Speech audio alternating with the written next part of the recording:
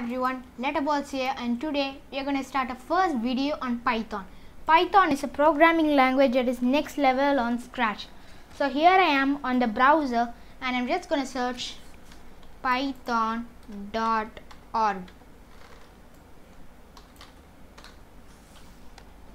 Okay, so here it is. This is the home page of python.org.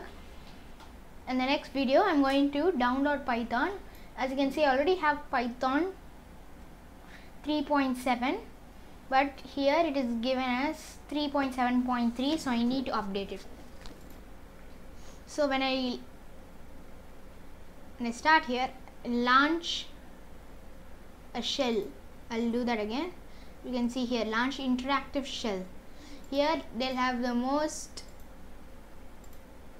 latest functions that they've used Python is a programming language that lets you work quickly and integrate systems more efficiently. So first I'll tell you what a computer program is. A computer program is a set of instructions that causes a computer to perform some kinds of action. So basically it is just about software. Python is a it's a programming language a quite easier one too that other programmers can easily pick up and the beginners can easily do it. So first I just do something like